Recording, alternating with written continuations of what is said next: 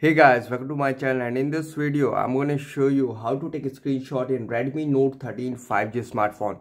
So the first and really easy method is just swipe down your three fingers like this to take a screenshot. This is to take a scrollable screenshot and this is to send. Just swipe down your three fingers like this to take a screenshot really, really easily you can see. Just swipe down three fingers like this to take a screenshot really, really quickly and easily you can see and if we swipe from top in notification center in helpful quick settings here you can see a screenshot.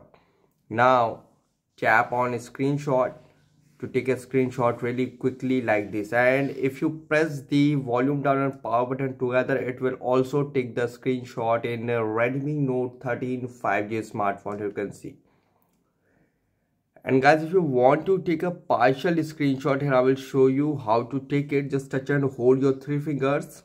Now you know here you have option rectangular free form and circular. Now after the selection select the area and release. And here you can see start over share edit and save feature is available. Now tap on save to save the partial screenshot and if you want to take a long screenshot here i will show you how to take it. Just touch and just swipe down your three fingers. Now tap on scroll.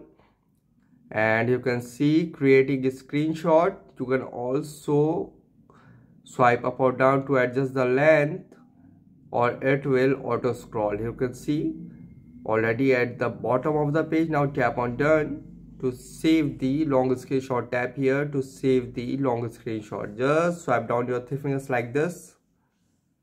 Okay first go on top. Now swipe down your three fingers like this and now tap on scroll. And you can see creating a screenshot. It is auto taking a screenshot you can see.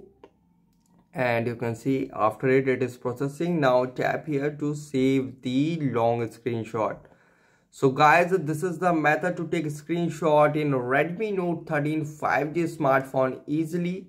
Guys, thanks for watching. If you have any query related to video, let me know in comment section below.